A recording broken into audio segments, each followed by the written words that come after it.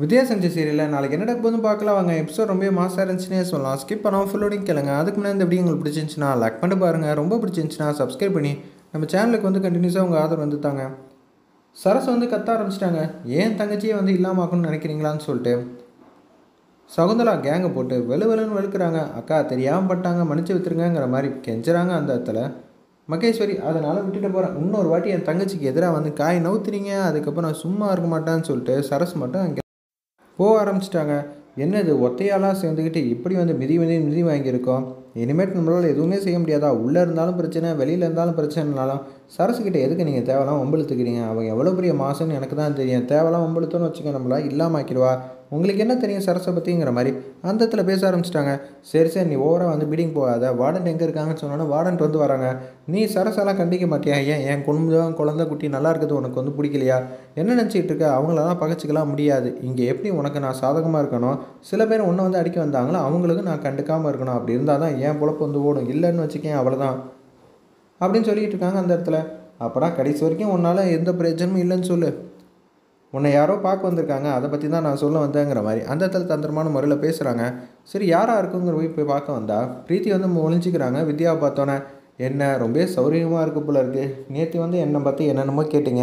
ஆனால் இன்றைக்கி பார்த்தீங்களா நீங்களே வந்து உள்ளே வர மாதிரி ஆயிடுச்சுங்கிற மாதிரி அந்த இடத்துல வந்து சிரித்து பேசிக்கிட்டு இருக்காங்க. வேறு லெவலில் மாசாக இருந்துச்சுன்னே சொல்லலாம் வித்யா.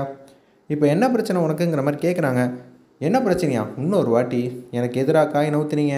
அதுக்கப்புறம் நான் என்ன பண்ணுவேன் ஏது பண்ணுவேன் உங்களுக்கே தெரியாது. பார்த்துக்கோங்க. உங்களை மாதிரி நான் அட்டம்ப்டெல்லாம் பல முறை பண்ணி தோக்கலாம் மாட்டேன். ஒரே அட்டம்ப்ட் தான். தெளிவாக போட்டு உங்களை எல்லாரையும் பத்திரமா வச்சு வச்சுருவேன். உங்களுக்காக திருந்தறதுக்கு சந்தர்ப்பம் கொடுக்குறேன். உன்னை பிரீத்தி வந்து கத்துறாங்க.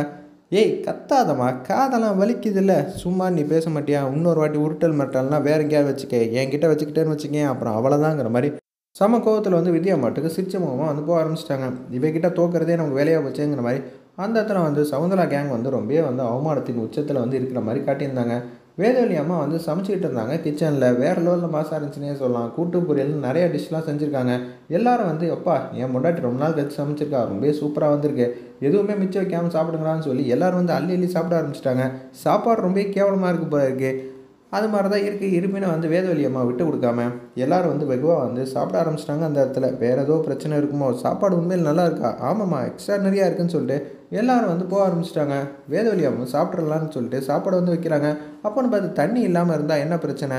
தண்ணி வச்சுக்கன்னு சொல்லி சாப்பாட்டில் வந்து தண்ணி ஊற்றிடுறாங்க உண்மையை சொல்லுங்கள் நீங்கள் வேணும் தான் தண்ணி ஊற்றினீங்க சாப்பாடு எப்படி இருந்துச்சு? அப்படிலாம் இல்லையே ரொம்ப சூப்பராக தான் இருந்துச்சு. நான் தெரியாமல் வந்து தண்ணி ஊட்டிட்டேன் அப்படிலாம் இல்லை. சாப்பாடு கேவலமாக தான் இருந்துச்சு.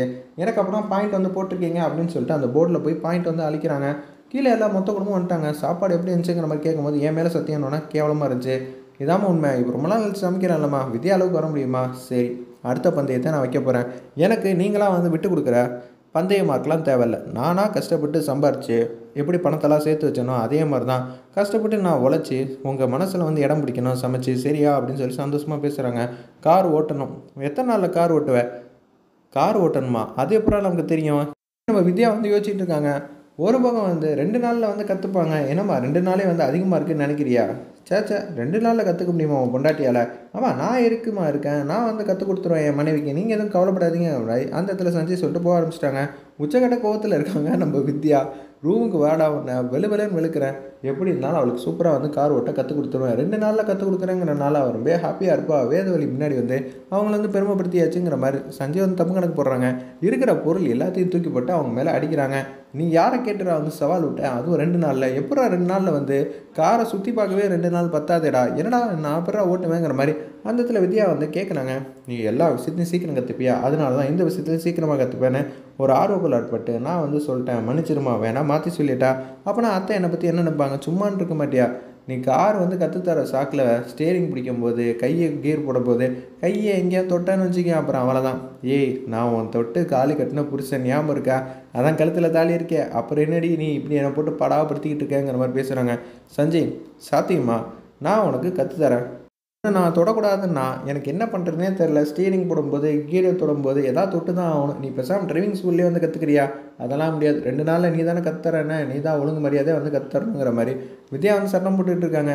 கார் பக்கத்தில் இருக்காங்க. இதெல்லாம் முடியுமா? எனக்கு கார் ஓட்டினாலே கொஞ்சம் தயக்கமாக இருக்குது அப்படின்னா வேதவனி அம்மா முன்னாடி தோற்றுருவேன் அவங்க தோத்தா டக்குன்னு ஏஞ்சி வந்துடுவாங்க நீ அது மாதிரி ஒரு சந்தர்ப்பத்திலையும் தோக்கவே கூடாது. நீ ஜெயிச்ச மாதிரி சிங்க மாதிரி முன்னாடி போயிட்டே இருக்கணுங்கிற மாதிரி அந்த இடத்துல வந்து சஞ்சய் வந்து பேசுகிறாங்க சொல்ல எல்லாமே ஈஸியாக தான்ப்பா இருக்கணும். அது நடைமுறையில் வந்து நடக்கணும்ல.